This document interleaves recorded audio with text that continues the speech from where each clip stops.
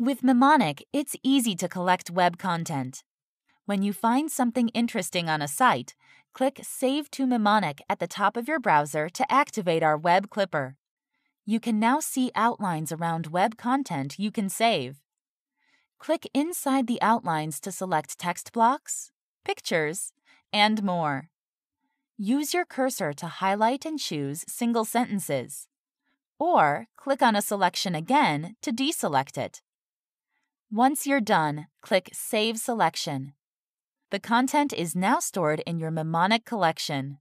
Continue browsing and clipping, or click View Item to see your saved content on Memonic. Try it out at memonic.com.